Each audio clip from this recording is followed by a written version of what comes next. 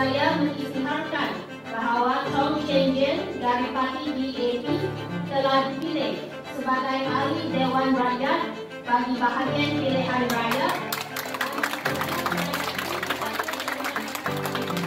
Overall, I think happy is an understatement.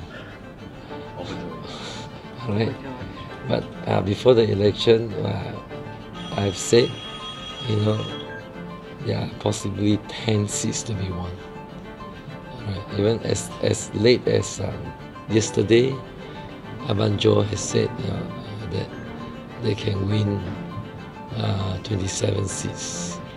So they've underestimated the quest of Sarawakians for justice and democracy.